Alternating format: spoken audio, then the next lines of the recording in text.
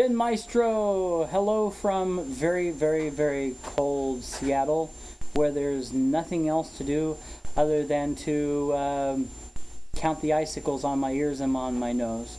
I hope all is well for you at school as I'm trying to figure out what direction I'm going with this law school stuff stuff with me being up in Seattle. Uh, glad to hear that things are doing well. Thanks for all the postings and for all the notes. Appreciate it.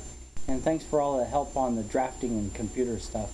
I have a computer problem right now, and boy, I wish I had you up here in Seattle so you can fix it. Ah! Oh well, I guess I'll have to do something on my own for once. Take responsibility for my own life. Ha ha ha ha ha. Glad to see you're doing well. Well, I'll catch you later. Alice says a big hello, hello, hello. And Hello. there she is. She's in the kitchen saying hello. Catch you later. Bye.